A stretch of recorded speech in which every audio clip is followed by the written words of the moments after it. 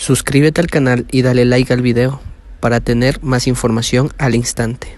Mucha atención amigos, esta es una noticia de última hora que ha sido lamentable en el mundo futbolístico. Deja este mundo Matías Gianni a los 26 años tras sufrir un paro cardíaco en pleno partido.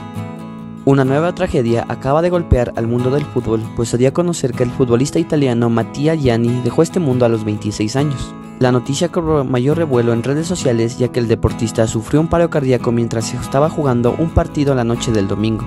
Ahora, el país que lo vio triunfar, su equipo, familia y admiradores lo despiden con tiernas palabras. Fue el alcalde Alessio Falorini quien confirmó el deceso del jugador semiprofesional, quien en pleno partido de este fin de semana sufrió un paro cardíaco. Aunque fue trasladado de emergencia a un hospital, su deceso ocurrió horas más tarde.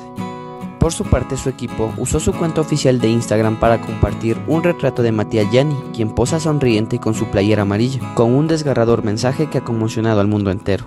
Luchaste como sabías hacer en el campo, vistiendo nuestros colores, pero un destino cruel te llevó. Un honor haberte apreciado y primero como hombre y luego como atleta. Sentimos un vacío enorme. Que tengas un buen viaje, Matías. Esto es lo que se lee en el post del comunicado.